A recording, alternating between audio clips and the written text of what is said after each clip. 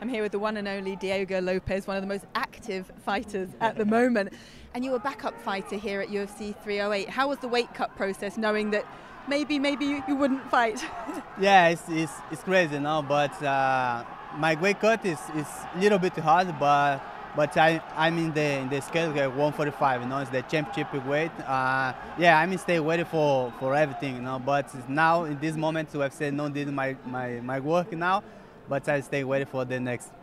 I feel like you could make any weight at this point on any notice. You obviously fought a new opponent on four hours' notice back in Vegas, and then uh, at the sorry um, prior to that, and then in Vegas at the Sphere. You had a fantastic win over Brian Ortega. How big a win was that for you, taking out a top-ranked opponent in Brian Ortega? Yeah, I think it's a big win for me. You know, Brian Ortega is the two two times the title contender. Uh, yes, I I needed this one big the win in my in my career, but now I have I have one big win uh, for for Brian Ortega. Uh, I think the next step is the the big things, no. And obviously, backup fighter normally wins your means you'll get the next title shot. There's Alexander Volkanovski as well, waiting in the wings. Do you think you get to go next, or maybe Volk gets that opportunity? What do you think? Uh, yeah, UFC say Volker the next now, but uh, yeah, I'm stay wary. I'm stay wary. UFC say me, oh Diego, I need you for, for the next title contender.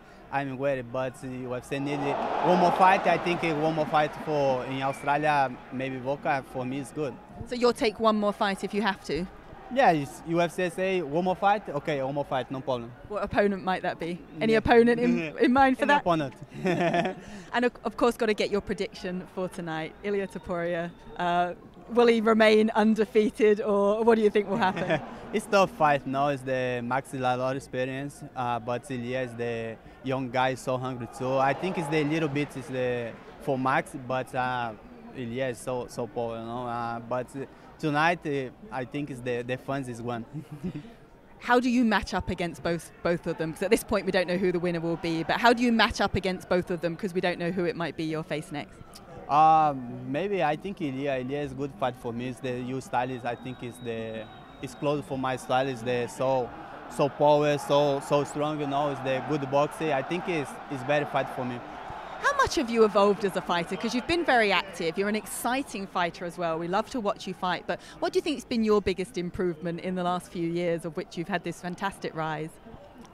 Como é que você evoluiu nos últimos anos nessa subida que você teve? Ah, vou falar português porque eu me perdi um pouco. Sorry. biggest improvement. É, foi uma evolução muito boa, né? Eu acho que muitas coisas têm acontecido, é, pelo mesmo de estar ativo por muito tempo, é, tem me ajudado a evoluir bastante, né? Ter lutas muito seguidas é o que eu gosto bastante, é o que sempre me ajuda a estar evolucionando. It was a really good evolution, you know. Uh, I think fighting all the time and uh, constantly being in the octagon is, is what really helped me improve uh, in these last few years, but it was a big evolution. Right, well, we can't wait to see what's next for you. Obrigada. Obrigada.